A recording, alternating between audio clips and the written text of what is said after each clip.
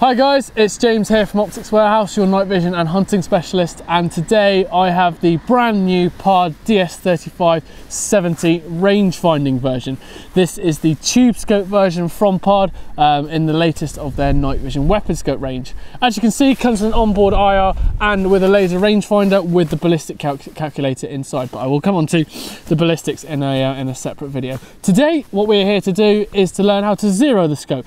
Obviously that is potentially the most important thing to do with the scope. Make sure it's absolutely bob on before you uh, before you start fiddling with um, with other parameters, so to speak. Um, looking at the scope itself, obviously it's a nice compact scope, nice and lightweight. Certainly the most lightweight day-night scope um, on the market at the moment. There's no doubt about that at all. Been a lot of fantastic reviews. Got that 800 by 800 circular display inside, and obviously that extended eye relief. So two fantastic features on there, which do allow you to then um, use as as efficiently as a day scope as you would be able to a night scope. So without further ado, I have bore sighted this at 50 yards. I'm quite confident with where it is on the bore sight. Uh, it's in the red in the middle, happy with that. So I am expecting it to go a couple of inches high at 100 yards as you would with a rising 243 round, which is what this is. Um, and then we can just simply adjust down from there and then we will confirm it with a few gong shots. And as you can see, the rain is just starting to come in now. So hopefully we can get this in just before it starts to really bucket it down. So without further ado, let's put a couple of shots in at 100 yards see exactly where it's going. Now, unfortunately, I can't actually record the shots itself um, through the unit because obviously I wanted to, show you that and then go onto the menu. So what I'm going to do is I'm going to fire the shots and then we're going to use some movie magic to actually get a camera behind and show you exactly where the shots have gone and then obviously how to zero from there. So, rounds in the magazine. Let's, uh, let's see where this goes at 100 yards. Let's just focus that one slightly. Okay. Okay,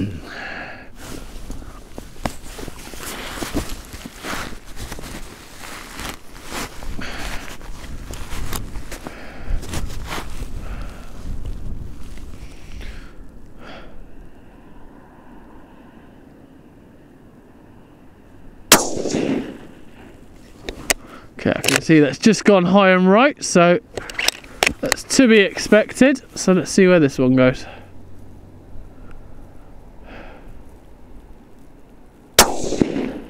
And there you go. It's literally gone just below the first round you quite clearly see especially with these nice vis targets. Um, yeah and so we will zero from that position there. Okay so as you can see from that really nice circular display all we're going to do is to press and hold the top button. Press and hold it down there. Oh hang on a sec. I've got my Wi-Fi on. Try to start again. Turn it off Oh, right, okay. Right, so there we go, we have the display. So all I'm going to do is I'm just going to press and hold the top button and then that comes up with all the features and functions and we're just going to scroll down till we get to reticle adjustment. We're on profile A and we just press down to get to each one. X, obviously we're not adjusting and then Y we're going to adjust as such. So what I'm going to do is as soon as I press this to start adjusting it, it's going to freeze the frame for me. So I just need to freeze that as central as I possibly can. Uh, hang on, yeah, tell a light. Yeah, start, as soon as I start scrolling, I should say. So there you go. If I just go on to Y there, okay, and then okay. So I started there. So now all I need to do is simply twist the Y until I get to where I want to go. There you go. You can see it moving there. there I just move it across up there and then I want to go back to the X and scroll that one to the two shots that we took up there. Next we want to do is obviously choose your style um, so you can go through various different reticle options. Um, so I quite like style 6. Go down, you've got your various colours and there, yeah, there we go. See, the trouble is, the only thing I don't like about this part is that you can't carry on carry on scrolling. Once you reach the limit, you've then got to scroll the other way. Um, a bit of a limitation, but it does make it, it doesn't, it's not a massive hindrance. Press all the way down to save and then press and hold the save button. And there you go. You've now, now sorted out your zero. So all you do is you press on the top buttons to go back and there you have it, ready to rock and roll. Okay, so as you can see, uh, we had to use a bit of recording um, movie magic there to show you exactly what's going on through the screen itself. nice and easy to set up and go through the various different settings.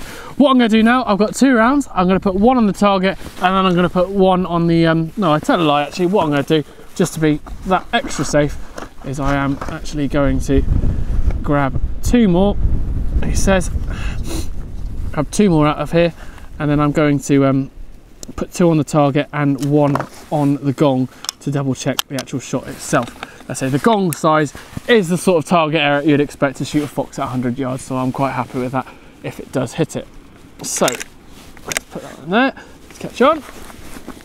Okay, so let's go. Right.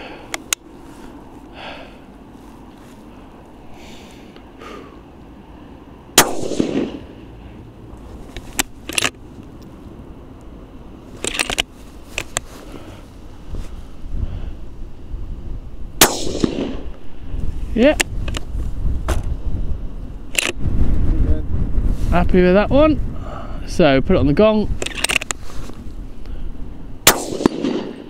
There we go. As you can hear, nice positive reaction from the gong there. Right, okay, so that was the um, that was a zero. As you can see, confirmed with a few gong shots at 100 yards. Nice and easy to do. Very simple setup. Obviously, just watch the video. And you have any questions at all, please don't hesitate to get in contact with us. Obviously, our email address and our phone number is on the website. Um, I hope this has been an informative video. I've been James, your night vision hunting specialist, and this has been another video by Optics Warehouse.